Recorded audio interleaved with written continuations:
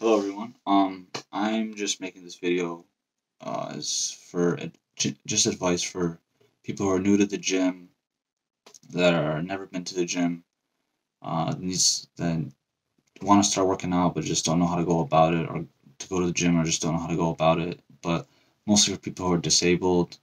Um, that's what I'm mostly gonna touch on, like paraplegics, quadriplegics, people who just have hard time doing some physical things. But uh, I just wanted to make this video because I think I have some good advice that could help out with some people. I hope this reach this reaches people it needs to reach, and help motivate people to go to the gym. I'm not gonna give um, workout advice or not like or how, I'm not gonna tell you how to work out or um, what to eat or anything like that. That comes with time, and as you go to the gym, you learn these things, or as you um, just involve yourself with health, fitness culture. You just learn these things over time. So don't even worry about that. Just my number one advice is just get in and start somehow. Somehow just start going to the gym. Um, once you get in, you'll like it. Um, as long as you stick to it, you just gotta give it some time, and, and you'll see results. And you uh, trust me, you'll just like it. But um, I just want to touch up like with okay, first with new people coming to the gym and that you don't know how to go about it. My um my I think some good I think something good would be is to go with someone. Have someone who's pretty experienced, um, go take you to the gym and you work out with them so you don't feel like you don't know what you're doing, you don't wanna you don't wanna look stupid of course. So that's why you go with someone who's experienced. Uh, yeah, because you don't. No one ever wants to look stupid, no matter where you're at, or you don't want to be embarrassed. You know, be put in an awkward situation. So, go with someone who uh, who's experienced, and um, yeah. So I mean, you won't have to worry about um, looking stupid or anything like that. Uh, but for me, or for paraplegics or disabled people, that's a that's really important in my opinion to go with someone especially an able-bodied person because at, at first i was i wanted to go to the gym I, I really wanted to but i just didn't know how to go about it and i was really nervous going getting back into it because i was just i was honestly scared. I wasn't scared but i was just like i just was nervous how people would think about like think like when they see me like well, i was just kind of i don't know it's hard to explain but i just i just had an awkward feeling like people be looking at me i worried i was worried about how i looked when i really shouldn't but it's never I don't know. It was just a little concern. But what I did is I went with one of my I went with one of my closest friends who uh he just helped me get in there. He just said, "Hey, let's go to the gym." Well, we were planning on it, but he's like, he picked this day, and I was I was think, I was honestly thinking about not going. But if he didn't text me that day, I if he didn't text me that day, I probably wouldn't have went to the gym. But because he hit me up, I got in the gym. I've been going to the gym pretty consistently for the past month or so, and uh, it's been great. But uh, yeah, especially uh, people who are quadriplegics, paraplegics, whatever, disabled people. If you are disabled due to an injury or something like that, before you start working out, I recommend being cleared by um, being cleared by your doctor to work out because you don't want to make something worse, especially uh, if you had surgeries or depending on what the injury was. Um, and know know your body, know yourself, know if you're healthy to work out uh, for I'll use my my case for example. I was in a really bad motorcycle accident. I broke a lot of bones in my back. I have a lot of hardware in there. Got two rods like this long and like twelve screws or something like that. So um, I have to I had to talk to my neurosurgeon uh, who did my surgery. Uh, I had to ask him. I had to keep in contact with him uh, so I know when to start working out. And he did overtime since my injury. He did uh, a, CT scans and various uh, X-rays and stuff like that to see my uh, how I'm healing up and to see when I can start working out or see my set my limit like see what limitations I would have. And over time, um, he would set limitations like ten pound lift limit, twenty pound, and it, it kept getting better. And then eventually, where I got to no no lift limits, I can just I have no limitations at all I can do whatever I want basically. But you gotta you gotta talk to your doctor, make sure you're healthy and know your body, and then you don't want to go into the gym with any like injuries because it's just it's just gonna make it worse and it's gonna put a bad taste in, in your mouth about the gym. and you don't want that. You want to go in fresh, healthy, and ready to work out. Uh,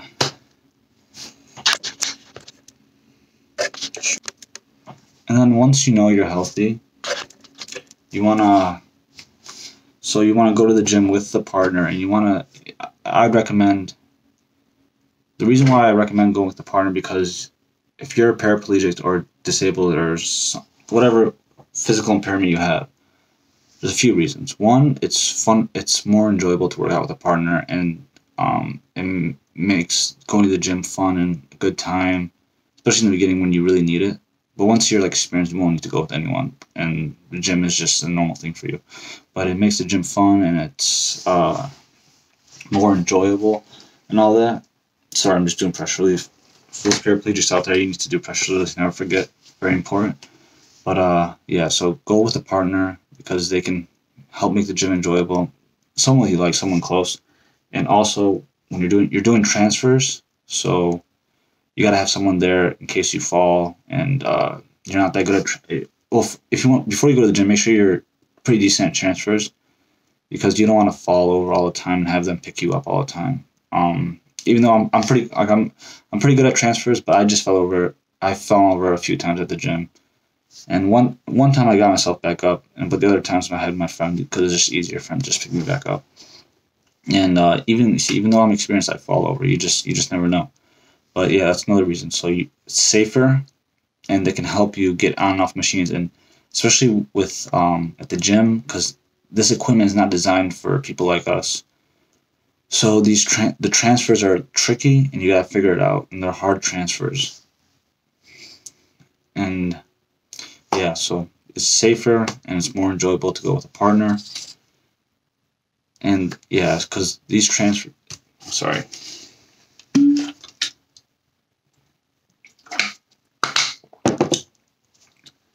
Yeah, so these are really tricky transfers. You don't want to be falling over all the time, and it's gonna you want to learn these transfers over time because like getting on this equipment, like I said, it's not made for people like us. So you want to getting on is is very sometimes very difficult, but um, you want to do it slow and have someone there beside you so when you fall or you don't fall, you just have someone there for safety reasons, obviously and make sure if uh, I'm pretty sure paraplegics know this, but uh, anyone in a wheelchair knows this that you want to wear the right clothes because a lot of times your pants falls when you're doing a lot, especially when you do a lot of transfers, especially in the gym.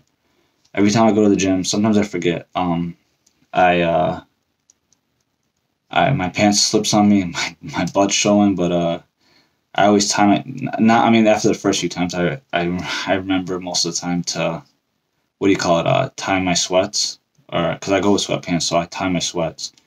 Or once it gets warmer, I will go in shorts. But anyway, you want to make sure you tie your uh, shorts or whatever you're wearing pretty tight, so uh, you don't have any butt cracks or butt showing or cheeks showing, whatever. And um,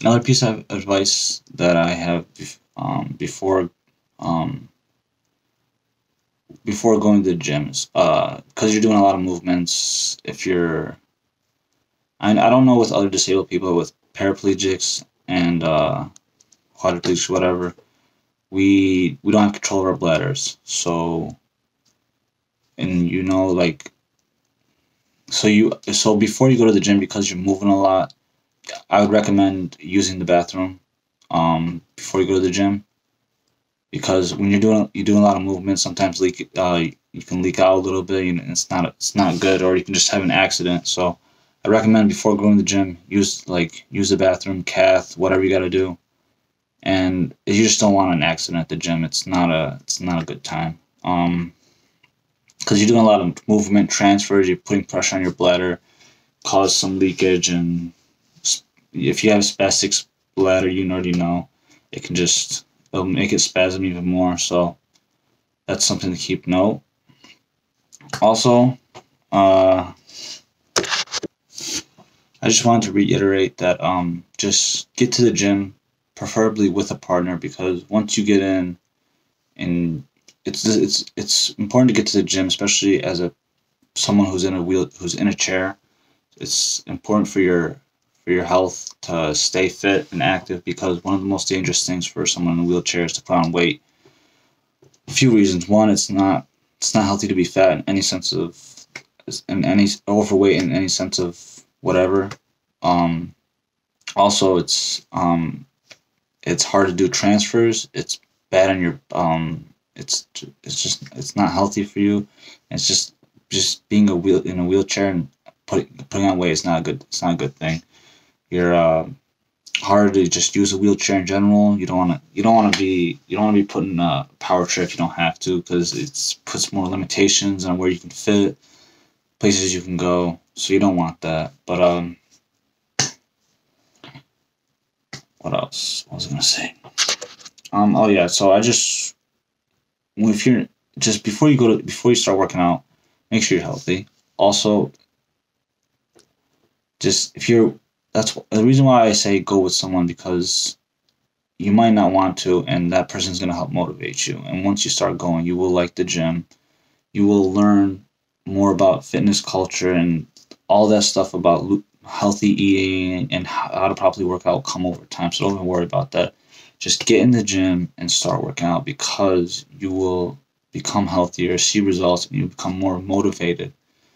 And it will just it'll make your life better, honestly, and you'll have more energy. You'll meet cool people. People will be inspired by you because they'll see someone who's in a wheelchair or um, or some sort of disability, and they'll become motivated.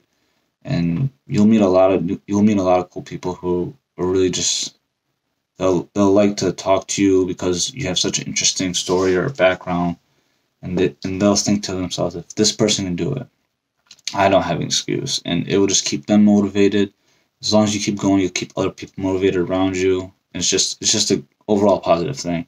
There's not I don't think there's one negative of me of just going to the gym in general. You, I mean, you get healthier, you look better, you feel better, you're becoming healthier. I mean, I can't think of any negatives. But like, I'll just use my personal um, case, whatever.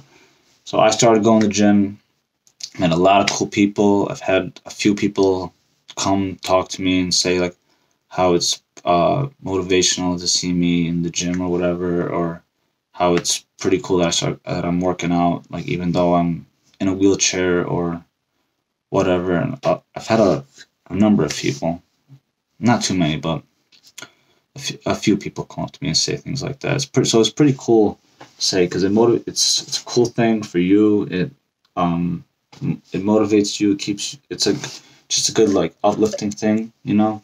And uh, yeah, I mean, it just feels good when people compliment you, of course, and uh, it it makes them feel good for them probably compliment us. It's just a nice thing. It's just all around good stuff. Um, that's why I recommend going. Sorry, I'm not the best with my words, but yeah, it's just it's just good to go to the gym and no no negatives, all positives, good things. Uh, is there anything I can touch up on at the end? Oh yeah. So if you're paraplegic, I recommend go bringing equipment with you. Like uh, like what I use a lot is the seatbelt that I got from my rehab hospital. I use this when I strap into like uh, put it around my waist usually. I'll strap it to a piece of equipment and hold me there because I'm a T6. So from here down from below my chest I'm paralyzed and I have no ab I have no core control.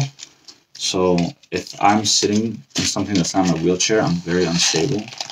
So this helps keep me very stable and um, keeps me safe and able to do um, things, a lot of workouts because of this that I'm able to do like uh, a lot of like the benches that sit up like a lot of curls, um, presses, various presses, like shoulder press, well, a lot of pressing movements and just a lot of dumbbell stuff.